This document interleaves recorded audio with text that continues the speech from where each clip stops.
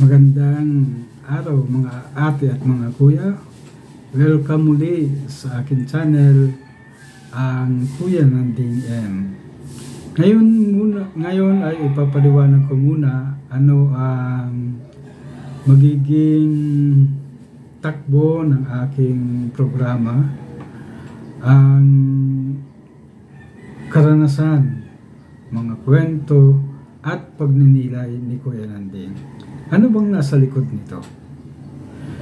Bilang mga Pilipino, taal sa ating mga Pilipino ang magkwento ng mga karanasan.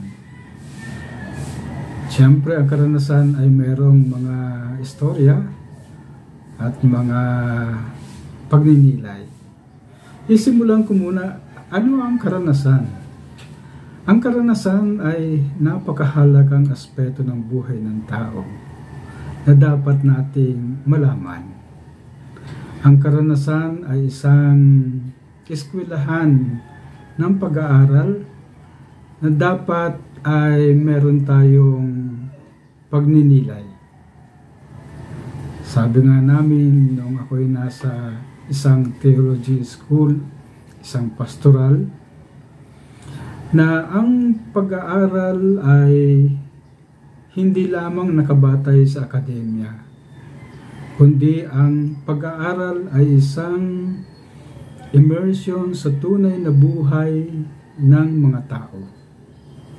Kahit tayo ay nasa ating komunidad, hindi pa natin alam ano talaga ang kalagayan na meron tayo kaya napakahalaga ng lumulubog tayo sa ating kalagayan, sa ating komunidad upang malaman natin ang kalagayan nito.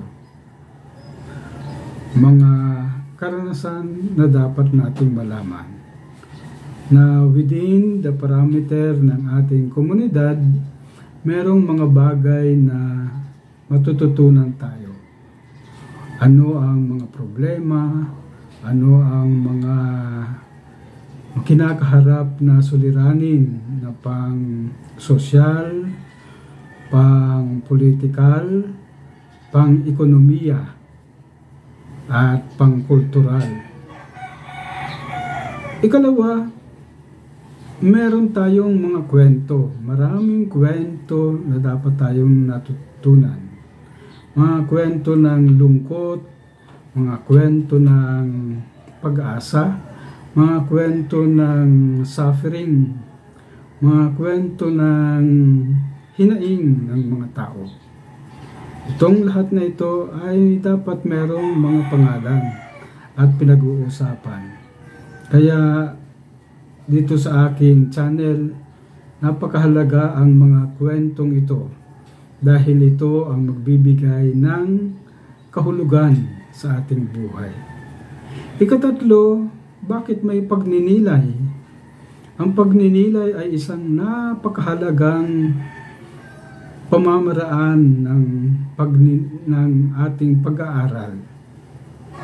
Ang pag-aaral na ito ay mga insights and learnings natin bilang tao sa larangan ng komunidad. Halimbawa, ano ang natututunan natin kapag nakita natin ang kalagayan? Kapag napapakinggan natin ang mga kwento ng, ng kahirapan, kwento ng ng mga pangarap at kwento ng paghihirap ano ito sa ating buhay. Kaya napakahalaga nito na mayroong processing. Ito ang pagninilay. At napapalalim natin ang kahulugan nito at nagkakaroon tayo ng meaning. Ito ay tatlong sangkap na napakahalaga sa ating channel. Ang pagninilay bilang individual sa ating kalooban, pagninilay sa salita ng Diyos, pagninilay sa ating kultura, pagninilay sa ating ekonomiya, at ating kabuuang pagkatao. Kaya dito sa akin channel, magkakaroon tayo ng mga kwentong ito. At uh, ito ay isang alternative na pamamaraan ng pagkatuto sa larangan ng pastoral. Ito po muna si Kuya Landing, ang aking ibabahagi ngayong araw.